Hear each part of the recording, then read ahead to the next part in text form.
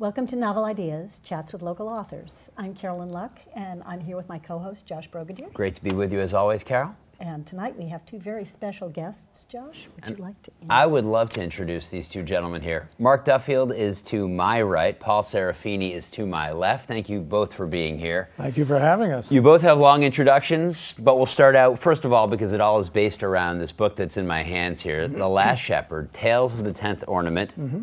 A wee yarn of wonder at Christmas time. Mark, you wrote this. Paul, you want to make this into a movie. That's right. Let's start with you for a moment, Mark. Tell us a little bit about your background and how you came to write this book. Well, I think uh, it goes back right after college, I think, and uh, I became a commercial fisherman on Nantucket Island and did that for about 15 years. And during those intervening years, I would take a dart, throw it at a map, and go there. And I'd always come back broke, like I am today. and, uh, but I could always get back on the boat and go back out again. So I did that for a number of years. Uh, my dad passed away. I scattered his ashes at sea in Nantucket and went down to the Gulf of Mexico to fish down there. Got caught in a perfect storm, almost lost my life, and I said, you know, my fishing days are over. So I came to Boston to uh, seek my fame and fortune, none of which I found. But I did find, or they found me, I guess, public television at WGBH, and I was there for nearly 15 years as well and then went over without a resume. They hired me, and, I mean, unbelievable, huh? And then over to New England Conservatory, where I did their corporate uh, fundraising for five years. And then I became co-owner of a little store on Beacon Hill called Blackstones, where I wrote this book. Many people are familiar with Blackstones. I'm sure a lot of our viewers will be. Yes. You could probably make a story on Mark's life based on what he just told us, Paul, but there's something a little different. Get it? Tell us a little bit about why this is an important project. Uh, well, just to, to dovetail to that just for a second, we are going to make a story on. on did I tell you that yet? No, no. Yes. no, actually, um, we're hoping that you know we, we when if we can get Last Shepherd turned into a feature film at the same time, we're going to try to do a little bit of a documentary on Mark's life. Who's he's Mark's just living the, lived this extraordinary life to end up to this point right here, and then he created this wonderful timeless story um, called The Last Shepherd. And, um, know, it's something that Mark and I have known each other for many years. I did used to work at WGBH myself um, uh, years ago. And, um, and uh, you know, we've always kind of connected, um, you know, on a variety of levels, I think. We were But- friends instantly. Yes, exactly. And um, I'm uh, I've been a director and producer for 25 years, um, and a lot of it is in, in family entertainment. And um, uh, I just uh, directed uh, my first feature film. I've been directed television for 25 years. My first feature film. Um, it's called Annabelle Hooper and the Ghosts of Nantucket. Um, but for uh, my my company is interested in, in developing a lot of projects, and one of the things that I've always wanted to do was a Christmas story or a Christmas movie.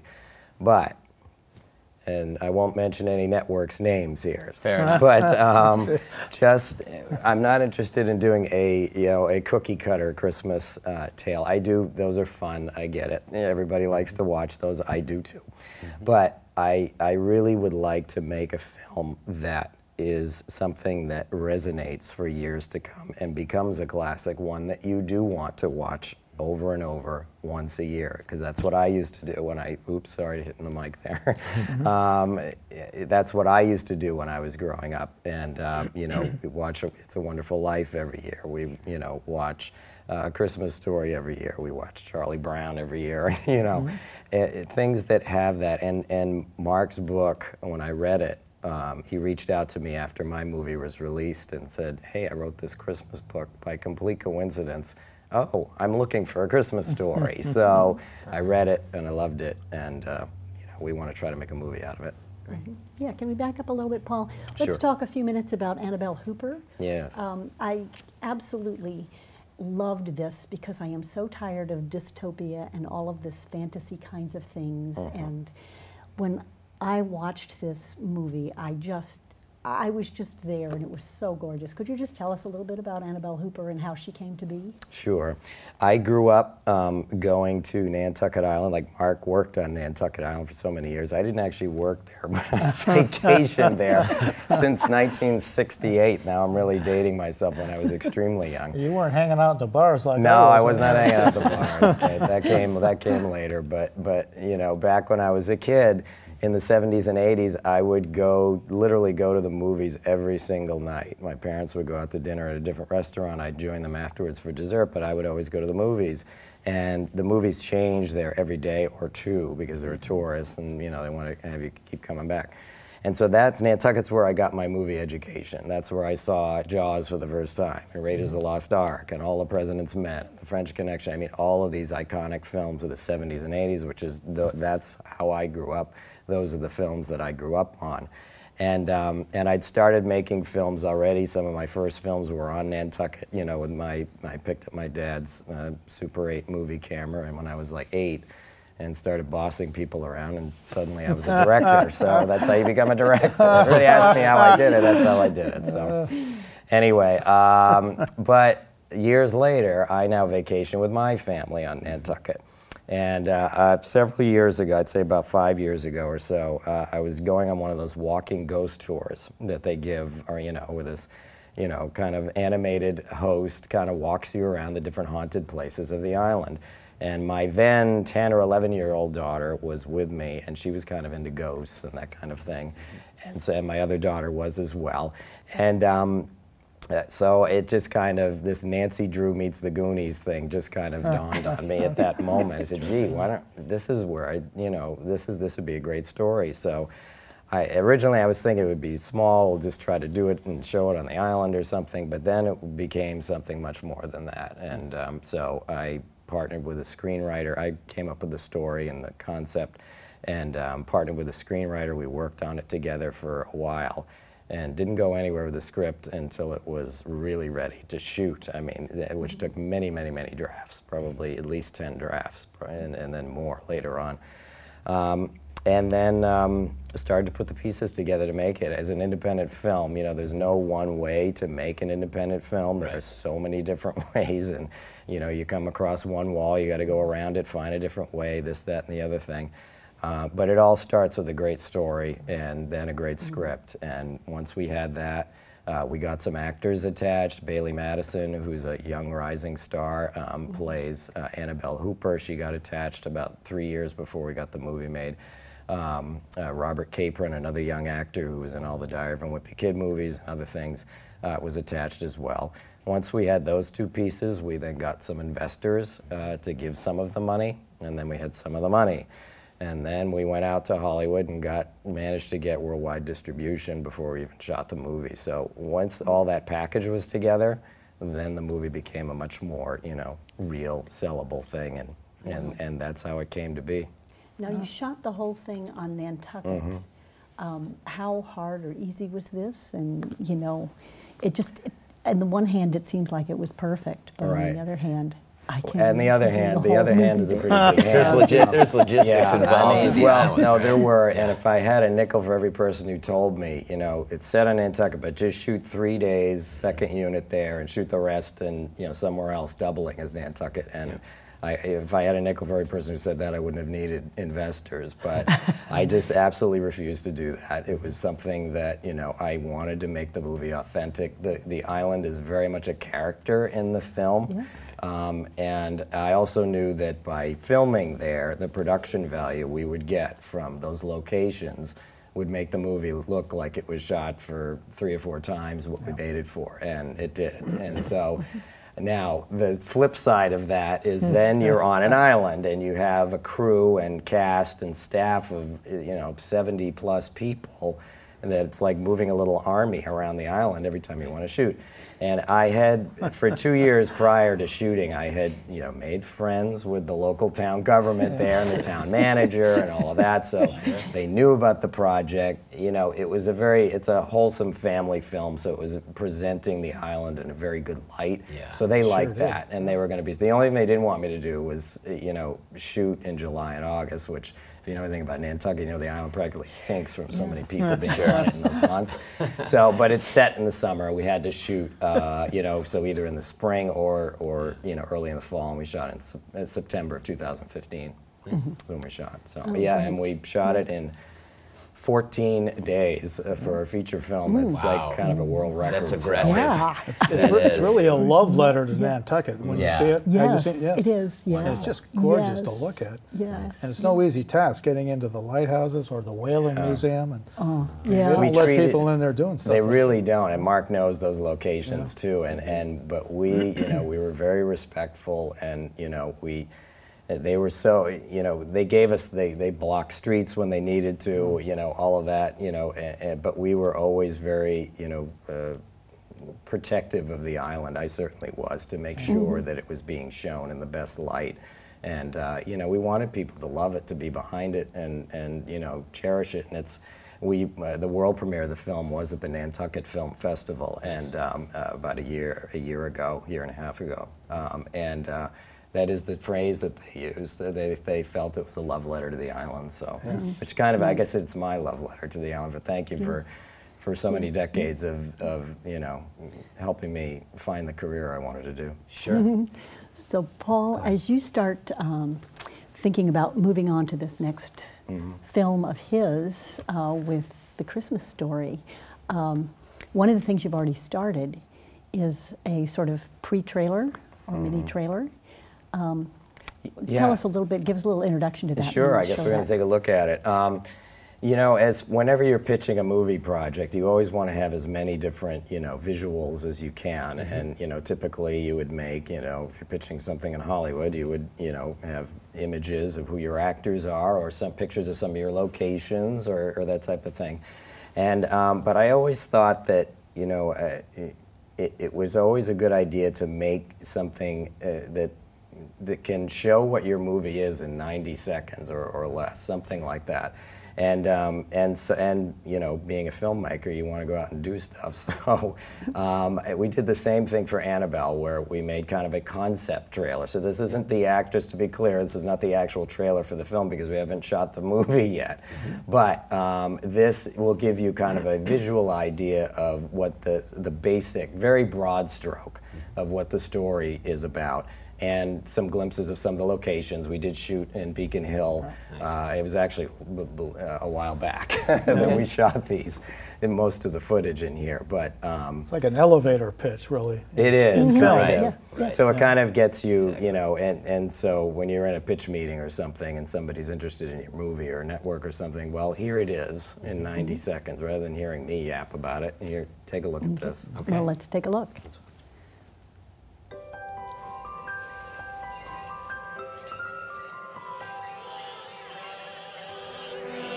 So, what are you doing for Christmas?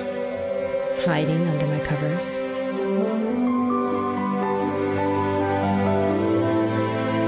Everyone's got a story. What's yours? Who are you, Jack Shepard?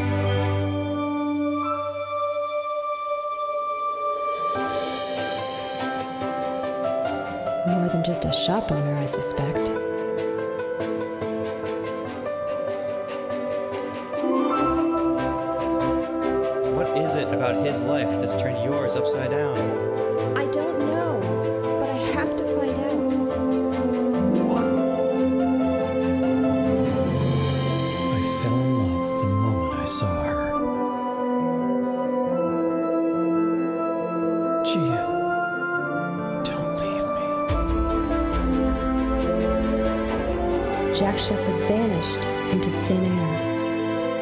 He the last shepherd.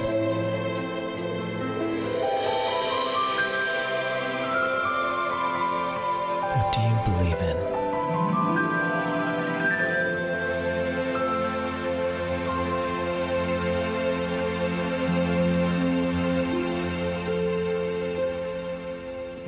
Well done, Paul. Fantastic. Thank you. So we actually have some, nice. some of the Great uh, pieces here on set, as you can see. Yeah, No these are uh, four of the 10 original uh, mystery ornaments that we did. And this is the number one ornament right here. Yeah, And as I was telling, I have it uh, right here on the book cover. of there it course. is. And as I was telling Carol earlier, the 10th ornament is so fragile. And it's actually a bell. You know, every time you a bell rings, an angel gets its wings. It was the kind of the last clue for the for the whole mystery. So I couldn't bring it because I was afraid I was going to break it. I've only got one. Understood. But this one here is the ninth ornament. And uh, when I first promoted this, there was going to be 10 ornaments, but one of the ornaments uh, would have no clue whatsoever. And so this really becomes the red herring. We call it the red herring. There's no clue on it, but I wanted to make it one of the most beautiful ones, and so I put the silver dollar on there uh, and so forth. And I have the quote by Lincoln and all, all sorts of things. Sure. Well, listen, we have so much more to get to. Yep. We're going to take a short break, and we'll be back in just a couple moments after this. Thank you. Every year, 40% of all food in the U.S. never gets eaten. 40%. That's almost half the food we produce. Food waste is a serious problem. It impacts all of us. And it's expensive. Your family is throwing $1,500 a year in the trash. We're working hard to put food waste on the chopping block. And you can do the same at home. Learn how to cook it, store it, and share it. Just don't waste it. Go to savethefood.com. Welcome back to Novel Ideas. We're here with author Mark Duffield and Paul Serafini, our uh, producer director, and um, we're going to be talking the second half of the show about uh, Mark's book, The Lost Shepherd Tales of the Tenth Ornament. The Last Shepherd, actually. I'm sorry, The That's Last okay. Shepherd. He's- he's a little not lost, yet. too. yeah, I am lost, I'll admit it. And I love the subtitle, A Wee Yarn of Wonder at Christmas Time. And so, would you tell us a little bit uh, about the book, where it originated from, and on? Well, the book originated from an idea from uh, Richard Thomas, uh, John Boy of the Waltons, who wandered into our store. And I was explaining that I was, and I hadn't even started yet, about these mystery ornaments I wanted to uh, have done, and then hopefully the whole country would come and get them. And he said, You know what you ought to do? And he actually bought the first ornament, which is right here. And, uh, but he said to me, he said, Mark, you know what you ought to do? And I said, anything you ask me to do. And he said, you ought to write a story and issue it one chapter a year. So as the ornaments go out, they're reading one chapter of the story. And the following year, they'd wait for the next two mystery ornaments and another chapter of your book. So have a little cliffhanger at the each one. And it was like a light bulb went off in my head. I mean, I know a good idea when I, when I hear one. So that's how I started to, to write it. And, but then it was time, well, what do I write, you know, basically. So uh, the title here, The Last Shepherd and Tales of the, of the Tenth Ornament, uh, was, uh, there was all of us in need in our life, that one person who comes to us, and you can do it. You know, if you write anything, Mark, I'll edit it, I'll do this, I'll do that. And so I needed that one person, and she was just a customer uh, that came in, very young and everything. And so uh, I said, if I ever write anything, I'm going to put your name in the title. And uh, her last, her name was Kristen Shepard, and it was spelled this way. That's the only reason Shepard is in the title, because like all of us, if you make a promise, you keep a promise. You don't say things willy nilly. You just do it. And then the tales of the tenth ornament, of course, were based on on the ten ornaments. The last part of it, and I'd already kind of had that in my mind, was what if what if uh, we, any of us, were the last person on earth, and what we stood for. And that was kind of a very broad concept. But then I started thinking, all right, there's 10 ornaments. I'll have 10 characters, and I'll have those 10 characters, uh, in a way, demonstrate 10 qualities we can all agree on. So it became 10, 10, 10. And that was the framework of starting a story. And so, again, like uh, I might have been saying earlier, uh, the 10 things we all agree on goodness, kindness, generosity, empathy, sympathy, tolerance, love all those kinds of things we all agree on. So that became the underbelly of the entire story. And then, uh, because of the, was the last shepherd, I came up with two characters who were both orphans. So they are going to be the last of their lines. There's nobody to follow them. Nobody before them, nobody to follow them. They're all alone. But they represent all of these great qualities that all of us aspire to. So what if we lost them and that whole concept? So I had a, a little bit broader concept. And I think I might have told you at one time or another about the, the passenger pigeon. You know, I do a radio show with Right. Radio Ray Brown, talking birds, everybody. Absolutely. And little Right. plug for Ray. Little He's Ray the best. great. He's worth the greatest. subtle. Yes. And uh, the story of the passenger pigeon was uh, for centuries, there were billions. They would blot out the sun flying over your house. Billions. But in 30 years, all those billions were reduced to one Martha, the last passenger pigeon in the Cincinnati Zoo. So, in a way, that's what the two last shepherds represent. What if they weren't here? And it really, in a way, saying, what if none of us were here? We're all the last of our own kind, in one uh, shape or another. And so that really became uh, the thing. But I needed somebody to tell the story. And I needed someone like Josh to be a reporter. Right. Well, so it's interesting to me that you used a reporter in this sense. Yes. Uh, we all, as reporters, get assignments that maybe we're not crazy about. We don't think maybe are worthy of what we do, and that's Yeah. obnoxious, but it's the case. And so, in this case, he wasn't thrilled with the assignment he was getting, but he ended up it, it blossomed. Yeah. I, I imagine that was part of sort of entering, and then all of a sudden it opens wide. I mean, that's well, he was you- he was young, and it was his first assignment Sure. uh, in our story. And so, and I didn't name the reporter uh, initially uh, because I was thinking of you know Thornton Wilder's Our Town, and it's just the narrator. And it, but he did kind of what I did here. He's vignettes of people and everything like that. And so he was just going to be the reporter. But then as I started writing it, I never named him. But he has to then come into the story uh, and to explain all the mysteries that happen. And he's presented with all these mysteries that disappear at the end. That's the magic at the end. And uh, but in the meantime, he has told the story, and all of a sudden he's dragged himself into the story. Right. And so then he has to come back and report to all of us. But he does this as an old man. That, to me, that was essential. He had to be very old. He's at the end.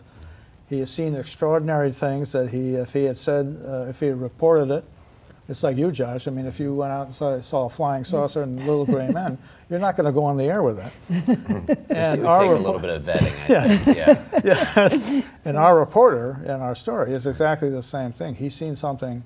He's a man of reason and fact. Right. And uh, the thing I always said, if uh, if seeing is believing, uh, what happens when you see something that's unbelievable, inexplicable, and unexplainable? Who's going to believe you? Especially if your job is on the line. Better to gloss it over. And that's why now, near the end of his life, sitting in front of a roaring fire, it's his mea culpa, his confession. I've got to tell you what I saw. I don't care anymore what you think of me. And he goes and tells this extraordinary tale uh, of these characters. I want to jump in for a moment here with Paul. So mm, the characters are mm-hmm. rich. They mm-hmm. are realistic in a lot of ways because some of mm-hmm. them are based on reality. How is that something that appealed to you as someone who's going to be directing this film? What, what about the characters really spoke to you? Well, um, I, I think that the, the, the main thing you need for characters in a movie is relatability. You have to have somebody you can root for, somebody you're interested in, because otherwise you're going to tune out after the first five to ten minutes of the film and not really care what happens to them. Um, you know, the great thing about this story is there's many hooks in it and it jumps time spaces sometimes, you know, from one time period to another. And, um, you know, and uh, characters kind of come in and out. It's almost like two stories kind of being told at once in some ways, with the reporter kind of looking back on, you know, the events that have happened. Um, and in the adaptation, you know, the film adaptation, um, i there are some different things we're, we're going to explore because, you know, to make a feature out of a book, which is a relatively short book, you have to expand certain things. And, um, and also, you know, uh, curb them in certain ways to try to make sure that they develop and, and you the, you carry the audience along for that two hours which is, you know, if you think about it, is, is a bit of a, a time to set, and so you have to kind of, you know, keep that along. But I just, I, I, the characters are very relatable. They're people that you would, you know, see on the street, or people in your neighborhood, or people you can certainly relate to. Uh, people that have ambitions, people that have dreams, that some of which didn't work out or might not work out. Um, Jack is facing you know, the loss of, of, of the, the things that he cares the most about in life, uh, his love, Gia, um, and um, uh, his store, um, who's, you know, the, the local um, uh, developer is, you know, bad guy, essentially. uh, wants to take the store away from him essentially to build, you know, something else. And um, and I, I, think that a lot of audiences can really relate to those types of things. And those are the, the underdog stories are really the ones that resonate, you know. Um, the, and you can name so many films that where, you know, the underdog is, those films are still watched, you know, 20, 30, 40 years later. And um, so I think it's, and Mark's story has those. And so it makes it, you know, when you're doing the adaptation, it, you have a lot of material to work with. So. Do you envision this being a big challenge, uh, shooting on Beacon Hill? Enormous. that will be no smile. Nantucket, yeah. Nantucket will be a cakewalk compared to shooting on Beacon Hill for a variety of reasons. But I, you know, I, that's a bridge we'll cross when we come when we come to it. But the the, the thing is in many ways like Annabelle Hooper, where you know I went and, and got to know the town uh, government there and the people there, so that when it came time, if we got the movie put together and, and financed and made, um, that you know they would be accommodating to us. And Mark has already done that because everybody in that neighborhood is familiar with the book, which came out you know a few years ago, and um, and mostly they're familiar with Mark. I mean, he's like a rock star. I've, I've walked down, you can't walk down Charles Street without stopping, getting stopped at least like seven or eight times by everybody and their mother to talk to Mark. And I think that that's just, you know, a testament of, of, of Mark's character and, and the relationships he's built up in that community. So if you know the planets line up and we're able to, to get the movie made, um, you know, we certainly like Annabelle, we wrote the script around existing locations, which is another mm-hmm. reason I absolutely wanted to shoot there. Last Shepherd reminds me of that in many ways because uh, these are many of these uh, points in here are existing locations, so it would be nice to, you know, to film in them. You know, realities will certainly come into play, you know, with interior shots and things like that, which will likely have to be, you know, done uh, done elsewhere. Still in Massachusetts, though. I absolutely want to shoot the whole movie here. Um, but you know, certainly the exteriors on Charles Street and, and all of the wonderful locations of the book, we'll try to do as much as as much as they're willing to do. That nobody's going to shut down Charles Street for I mean, us. The great thing about the exteriors, you could be shooting it today or 50 years ago. Mm -hmm. yeah. yeah. it's all there. Right. The only thing no that's different is the cars. Yeah, but everything else is pretty much the same. Yeah. And for uh, interiors and things like that, we have many friends there who have libraries where the Barneswell character could be in. Yeah. Oh, yeah. And we could find a lot of interiors uh, right there. Everything is right there. Yeah. Mark, uh, Acorn Street and so forth. Yeah. You're from a long line of storytellers. Um, do you think that that made this book easy?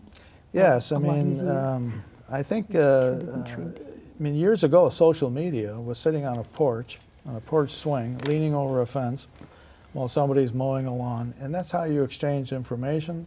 That's how you passed oral history down from your family and your heritage and so forth. And uh, that is very, very rich. It was personal, it's up close, face to face, and it became memorable, and that's why it sticks mm -hmm. in our mind. And so a lot of the stories you heard about your own heritages mm -hmm. and so forth are absolutely original. There's not a cliche in it. Mm -hmm. And I, mm-hmm. want, I think I've shown this earlier. I'm going to have you do it. you can do it to Josh. This is what I learned from you. Give me your hand. And I want you to squeeze that. Okay. Okay. Now give me this hand. Put, and don't squeeze too hard, but squeeze. There's a difference, isn't oh, there? yeah. and so my father said, Mark, this is cliche. Don't ever do this. Mm -hmm. this is cutting edge. Always do this. If you throw this rock into a pond, it's going to go plop and sink to the bottom. You take this one and you skip it, it'll live a lot longer. Never use cliche. And that's a hard thing to do because right. we're surrounded oh, yeah. by cliches. uh, but you uh. try at least for this. And that's what I tried to do in the book. And I think that's why it has so many different facets to it because mm -hmm. these are mm-hmm. facets. Yeah. There's no facets here. And oh, that was the reason I uh, used these things. Yeah. Thank you for letting me use my dad's props. we have so much well, more we wish oh, we could get to, but oh, people are going to have to buy this book, and people are going to have to watch this movie, of course. This is The Last Shepherd and Tales of the Tenth Ornament. Mark Duffield, Paul Serafini, thank you so much for being here, Carol. Thank you yes, for having us. Yeah. Thank you for having us. It's yes, been great. Thanks, Absolutely. guys. You're just amazing. Oh, it's been you're so amazing. Fun. Thank you. Fantastic. Thank you, Josh, as usual, my wonderful co-host here. The show wouldn't be here without you and the folks at Access Framingham. Thanks to you and To our viewers, we'll see you next time.